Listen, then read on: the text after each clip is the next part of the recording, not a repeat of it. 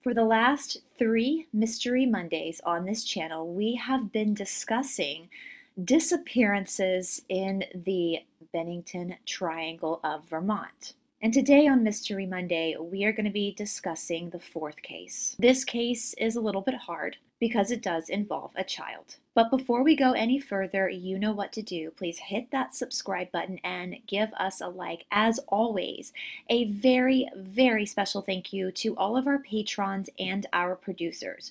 Without you, we truly could not do what we do, and I personally am entirely grateful and appreciative of you. If you would like to join our Patreon community, there is a link down in the description box below. Welcome to Esoteric Atlanta. My name is Brice, and today on Mystery Monday, we are going to be talking about the vanishing of Paul Jepson.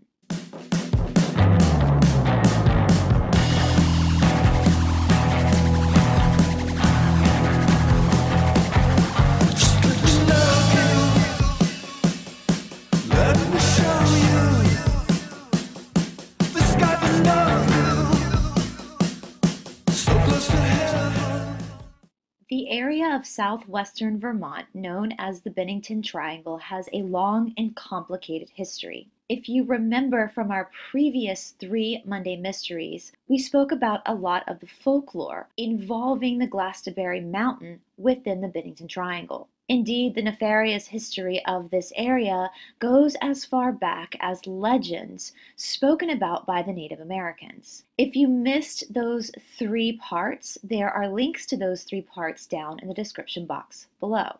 The Bennington Triangle was also part of the American Revolution with the Battle of Bennington happening on the 16th of August 1777. Now, if you watched our previous three episodes on the Bennington Triangle, then you know that we are covering five different cases of people vanishing in this area.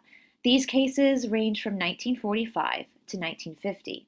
The Jepson family had a farm at the base of the Glastonbury Mountain. The family farm was quite large and required a truck for the family members to get around the farm to complete their daily chores. On the evening of the 12th of November of 1950, Margaret Jepson was going to head out to the pigsty to do her daily feeding of the pigs. Her eight year old son, Paul Jepson, decided that he wanted to tag along with his mother. Paul jumped into the passenger side of the truck, and together Paul and his mother, Margaret, drove all the way down to the pigs to do the evening feeding. Now, it has been 71 years since little Paul's disappearance. And given that so much time has passed, it is possible that some of the details of his disappearance might be a little bit skewed. But from what I can find, it seems that Paul's mother parked her truck right beside the pigsty. Little Paul stayed in the truck. Now, again, this was the evening of November 12th up in Vermont. It would have been quite chilly. And so I can understand why a mother would want her small child just to stay in the car while she went about and fed the pigs. Now it's noted that, again, the truck was very close to the pigsty, so close that Margaret could probably see the truck out of her peripheral vision. And remember, this is a farm. This is their farm. This is their property. It's quiet. It's not like she wouldn't have heard a door opening or a scream or any kind of unsettling commotion coming from her vehicle. It took Margaret about an hour to finish her chore of feeding the pigs. And once she was done, she headed back to the truck, only to find that Paul was not in the passenger side seat. Now, again, from what I understand, this was really peculiar because, as I said, Margaret could see the truck the whole time. Granted, her focus wasn't on the truck, it was on feeding the pigs, but again, the truck was there. It was it was in her peripheral vision. And I know many, many mothers today would probably do the same thing that Margaret did, seeing that they still kind of had their eye on their child. And as I said, what on this family farm, this quiet family farm, was going to hurt Paul without her noticing since the truck was so close? Needless to say, Margaret at first was very baffled and confused. Where could Paul have gone? But he was an eight year old, and, and maybe it was possible that she didn't hear him open the car door.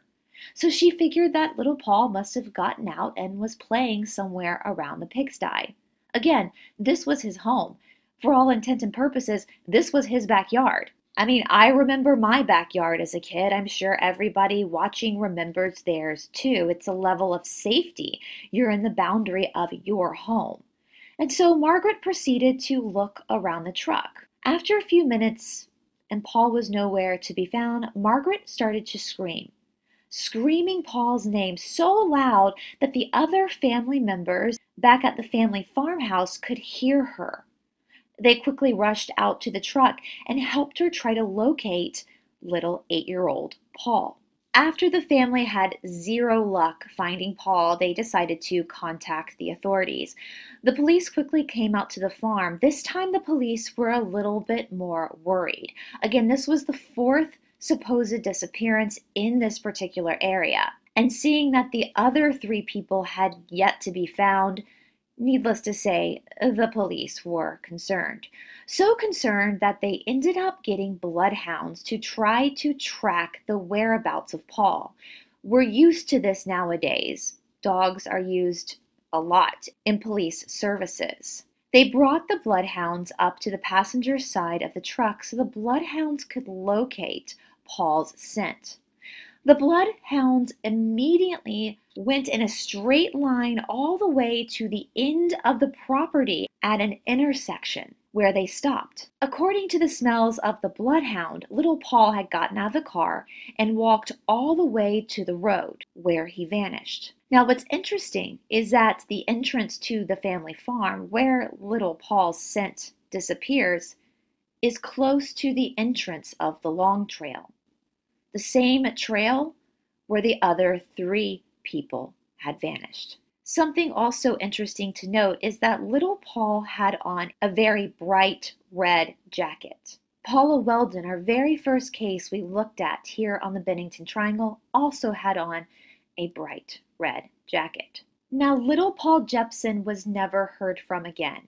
His body never surfaced. No one ever saw him. He just simply vanished, like the three before him. Now, again, because these cases are so old, a lot of details are missing. And so, for my research, I listened to multiple accounts of each story to see if anybody else had a piece of the puzzle that I seemed to be missing.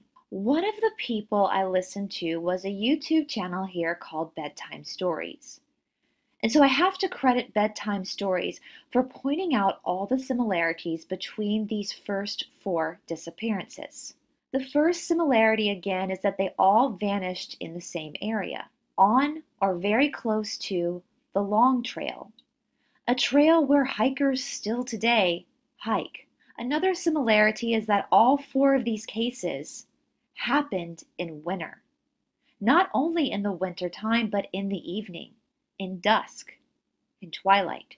We also know that with each of these cases, there were people literally around the victim when they vanished. So, how peculiar is it that all four of these people vanished with another human being right there? Now, a lot of people have thought that maybe this was the work of a serial However, it doesn't appear to be that way because none of these victims are the same age nor the same gender. And if you know anything about the psychology of serial you know that they typically pick the same type of person. In fact, the only similarities between these victims is their race. Beyond that, we had Middie Rivers, who was in his 70s. We had Paula Jean Welden, who was 18. And of course, we had James Tedford, who was an elderly man who vanished on a bus driving past the area. And I say all four of the cases had this similarity. The fifth case, which we're going to cover next week, holds a lot of these same similarities as well, except for one difference. In the fifth case, the body was eventually discovered. All right, you guys, thank you so much for sitting through this part four of this breakdown of the Bennington Triangle on our series Mystery Monday. Of course, you guys know once we finish up all these cases, I do tend on doing a deep dive back into all these cases with our friend Tarot by Janine to see if the cards can give us any more information about these victims. After we leave the Bennington Triangle, I am going to cover some other cases of missing people in national parks. After all, the Bennington Triangle is located in a national park. Now, some of the most recent cases have way more details, and so it's going to make this deep dive a little bit more thorough. Because these particular Bennington cases are old, we are limited by what we factually have. We also have to remember that the forensic science wasn't around back then. There was really no DNA testing. So there probably was a lot that the authorities missed just because of the time period that these incidents happened. But with that being said, I personally do believe that these vanishings are of the spiritual kind and not necessarily of the human kind. I do believe that humans were involved, but they were involved because of some type of portal that might exist in this area. However, because we have no physical proof of that, this is all just my speculation. But again, I would love to hear your opinions down in the comment section below. I hope that you're having a fantastic week. Know the best is yet to come. We will get through this. Hang in there and have a wonderful, wonderful day.